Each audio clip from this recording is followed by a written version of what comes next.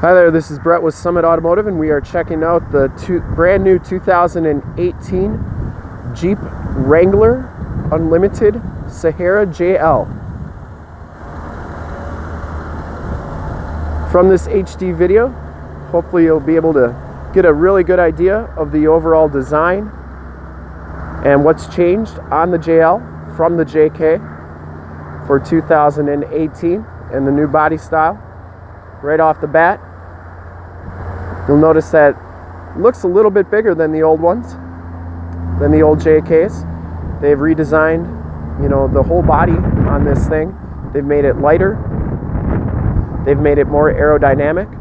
They've upgraded it with an 8-speed automatic transmission, which gives it a little bit quicker acceleration and smoother shifts.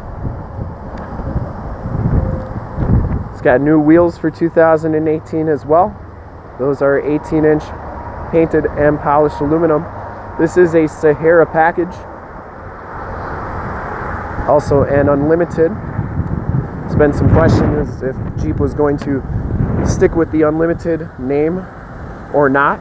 And it definitely looks like they've stuck with it for the four door. They've got the Sahara block lettering right there. A little bit of indentation on that front fender. These are the 18 inch painted and polished aluminum rims. You still get the little Jeep logo on the rim there. Bridgestone Dueler 255-70 R18 tires. New for the JL is the LED lights in the front fender. This one has the LED lighting group, which gives you the LED fog lamps, the LED ring around the headlamps, and of course the LED headlamps themselves. Seven slotted grill. Got just a little bit of indentation for that headlamp. They've made the vehicle more aerodynamic. They've slanted back the roof, or the windshield, I should say, so it's not so vertical. They've also added a little bit of a cool thing they do, the T50 for your Torx wrench. So it tells you what size Torx that you need for those doors to take those doors off so you can still remove those doors. Color match fenders are also part of the Sahara package. The removable hardtop, of course, part of the Wrangler group. Does have the backup sensors, which are new for 2018 on the JL. LED lighting group also gives you the LED tail lamps. And they all come standard with a backup camera now. Black clear coat is the color on this vehicle. As we go in the back here, you can see it has the bag for your front hardtop pieces. This one has the upgraded Alpine sound system. You can see it still has the three bolts on the inside of the hardtop to remove them. New for the JL, you have your windshield washer fluid and your electrical connections right there. You can now put those in a spot they have a spot for them. They clamp right into there, and uh, that way they're not flopping around.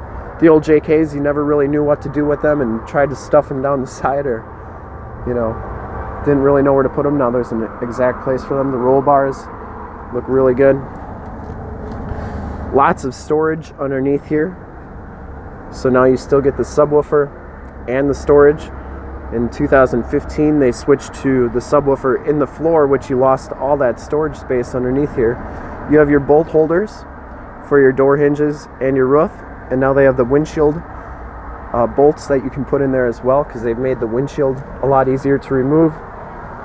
The rear gate is now lighter and it does have the badge which tells you the overall length and the wheelbase and how much water, water fording you can do as well as where it's built in. The little badge on the door. That's on all the new Wranglers. And the top still closes like they always did. That door is a lot easier to close than the ones on the JK. It's a lot smoother, a lot lighter. Um, just a little bit easier. The new step bars look really good on the Wranglers. They're wider The mirrors now have the blind spot indicators as well as the heated mirrors. This is a Sahara package, but it has the cloth interior, so you can see what that cloth looks like. You still get the Sahara stitched into the backrest. Has the driver's seat height adjuster right there. This is your lumbar support, and uh, this is for your backrest. Has the all-weather topographical floor mats, which are pretty cool. Auto headlamps. And this is what the new door looks like as well. As we hop inside here, you can see the new 7 inch TFT display. Still all the same functionality as the uh, other 7 inch TFTs, it's just a little bit redesigned for the Wrangler. The steering wheel is redesigned as well. You have your cruise control or um, I'm sorry, your Bluetooth audio controls on this side, as well as your information center controls. That's for that right there. Leather wrapped. Cruise controls on that side, and they still do have the radio controls on the back of the steering wheel.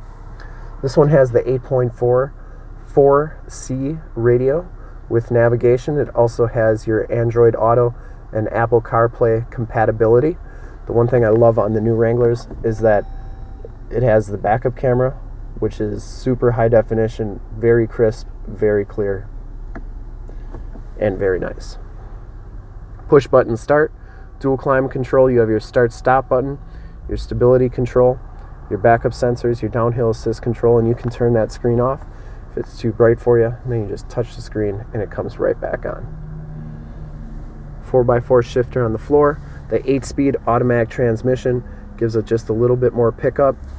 Has the AUX USB and USB-C ports right there. Still have your windows in the middle. The new key fob has remote start on it, has the hideaway key to get into the doors. And the key fob's very thick, very it's got a good weight to it. it says Jeep on the back and just a very heavy duty key fob on there. All weather floor mat on that side. And once again, just the design on the seats there. Looks like the hardtop comes off pretty much in the same way that they always did. They've changed the design on the roof just a little bit. Has more of like an eggshell